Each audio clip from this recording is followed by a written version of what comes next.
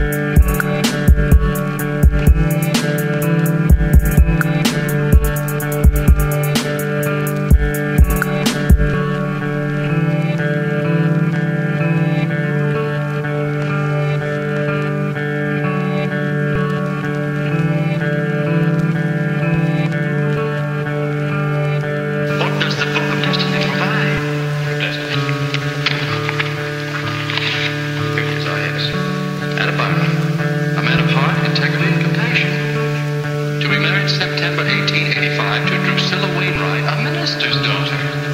Three children blessed this union to extend to his maker in the rightfulness of his years, a moral and civic leader.